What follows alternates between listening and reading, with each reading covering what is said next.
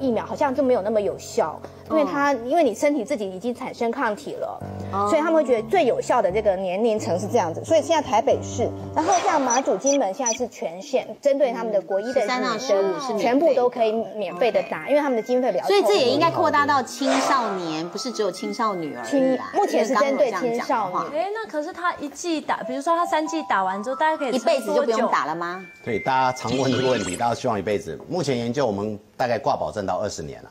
二十年以后，因为因为这个疫苗政策比较特别，疫苗不会像一般药追踪十年，其实它追踪五年没有大问题，的确有效，我们其实就上市了。二零零六年上市，全世界第一个打的，到现在超过十二年。那研究室我们告诉大家，大概二十年是没问题。打完，如果他再去在性行为接触到有呃乳突病毒的人，他就真的不会打，也不会带源吗？所以这个就是刚刚崔芬讲的，我们很希望以后在没有性经验之前就先先打先这有两个概念，一个叫主动性，呃呃呃免疫，一个是被动式。主动式是什么？如果你从来没有经历过，而且亲呃子宫颈还蛮年轻的时候。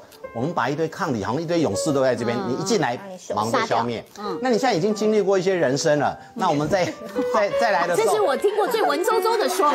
经历过一些人生人生，你是说韩国人生吗？人生，人生苦经过短，跟人生的过程了，那可能有一些其他的刺激的时候，这时候再来打，效果差一点点。可是我们可以看得到研究报告，还是九十九到九十七 percent 的防护率。可是我必须要讲，就是这四型。当然，你可以查文献可以看到说，那有没有顺便保护其他几型？嗯，这叫 cross protection。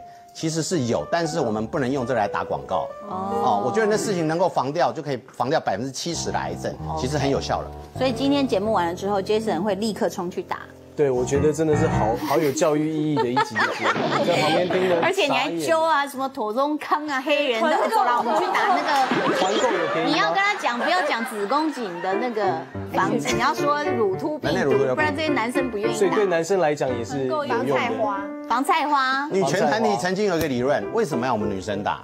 所有男人打光了就没事了。对耶。